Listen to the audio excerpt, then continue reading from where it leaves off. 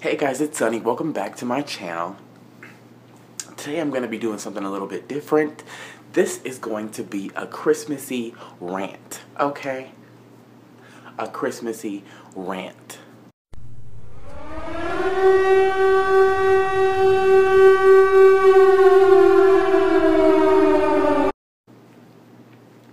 Okay, so somebody yesterday at work, they went, they go, oh, I don't really get presents anymore. Christmas is kind of for kids, or Christmas is for kids. Christmas is for the young. And I'm like, girl, you're not even 25. You're not even 26. You're still young. So why aren't you getting any gifts? If you have children, babies in your life, they go to school. They can get you presents. They can make you macaroni art. But the one thing I will not do is miss out on Christmas because I am too old and have kids. Like, are you kidding me? Y'all little fingers can work on some macaroni art, some little sculptures, and the earth provided clay for a reason.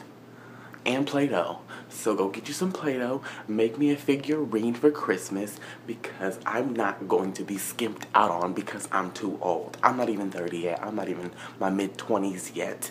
I want presents just like you do and I deserve them just like you children's do and everybody needs a Christmas. If I get you a gift, I expect a gift in return, people. Well, actually, that's not really the spirit of Christmas. The spirit is giving and happiness and love and. but the one thing that kind of gets me is that when you get older, a holiday is supposed to switch ownership, kind of like when you're when you're old you can't celebrate that holiday anymore. You can't expect gifts anymore. You can't expect to receive anything anymore. And I'm gonna kind of go branch off and go into Halloween. What? Ooh, story time. Story time. Okay. so one year on Halloween, I have always been a bigger person, a bigger kid. So one year on Halloween, I dressed up as something crazy, and I went trick or treating. So, we kind of like lived in a, a, a really wealthy neighborhood then, kind of. Well, we lived close to a wealthy neighborhood, and my ass went trick or treating there.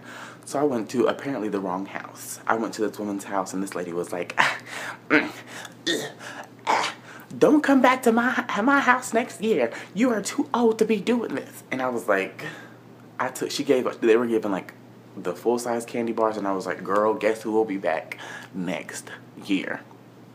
And was I back next year? Yes, I was back next year at her house, looking at her sitting in her chair in the front yard, like, Where's my full size candy bar, ma'am? I'm back. You remember this fat face? You remember this fat face because I'm going to be back every year because you said that. But then I moved to LA, so I couldn't go back and shove it in her face. But now I'm like in my 20s, and I'm just like, I really can't kind of go back because I'm like six foot three, four, and 2 million pounds and Halloween really kind of is over for me unless I go knocking on doors and people are like, oh, he's so big, let's give him candy before he comes in and eats us alive because he's so big. But back to Christmas. Okay, so yes, this Christmas time, all Christmas times is about giving. So if you got young children in your family, make sure those young children are in their little kindergarten making you some little finger art making you some um,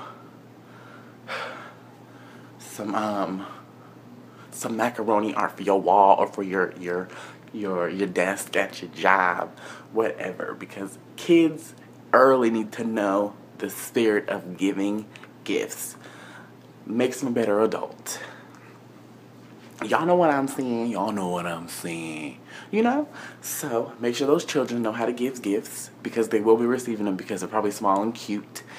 And make sure your family is giving you gifts too, no matter how old you are. Because when I'm 80 years old, if someone's not coming to me and giving me a gift, there will be a problem.